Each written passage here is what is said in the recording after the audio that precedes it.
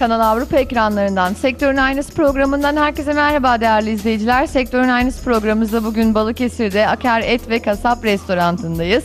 Yanımızda restoran işletme sorumlusu Hakan Aka var. Programımıza hoş geldiniz Hakan Bey. Hoş bulduk, çok teşekkürler. Kısaca sizi tanıyabilir miyim? Hakan ben, Hakan Aka. Ee, 80 doğumluyum. Balıkesir'in ee, en güzel etlerinin yetiştiği Bigar işlendim. Bigar işliyiz. Peki biraz Aker Restorantı'nı bize tanıtır mısınız? Biraz farklı bir restoran burası.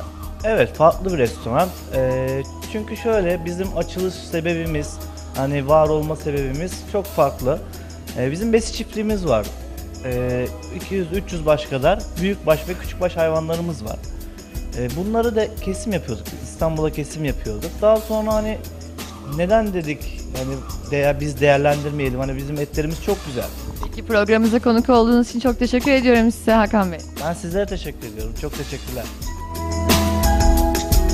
Evet sevgili izleyenler şu anda yanımda firma sahiplerinden Erdem Erdoğan var. Erdem Bey programımıza hoş geldiniz. Hoş bulduk. Sizler de hoş geldiniz. Hoş bulduk. Kısaca sizi tanıyabilir miyiz? Ee, ismim Erdem Erdoğan. Ee, aslen Konyalıyım ama 25 senedir Balıkesir'deyim. Ben de Balıkesirli Balıkesirli sayılır. sayılırım artık. Ee, Kaç yıldır bu sektördesiniz? E, yaklaşık biz bir 5-6 sene önce çiftliğimizi kurduk. Ee, hayvancılık yapmaya başladık.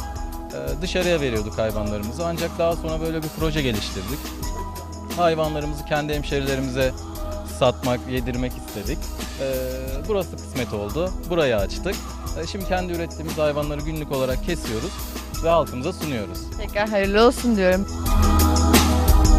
Kısaca sizi tanıyabilir miyiz? Sizden başlayalım sohbetimize. Eserli köyündenim. Kur'an kursları okudum. Kur'an kursunu bitirdikten sonra Sındırgı'ya gittim. E, askerden geldikten sonra ben yemek yapmasını seviyordum. Kocada yemek yapıyordum. Bir arkadaşımız dedi ki lokantası vardı devre satılık. Sana burasını verelim dedi. Burasını tuttuk 75 senesinde. E, Sındırgı'da işte 13, 13 yıl yaptım. 90'da ara verdim. 90 senesinde bir ara verdim. İşte oğlumun hatırı için, ortanın hatırı için tekrar bu işe girdik. De devam Birlikte. edeceğiz. Birlikte hep beraber Güzel bir proje yaratmışsınız, Aker yaratmışsınız.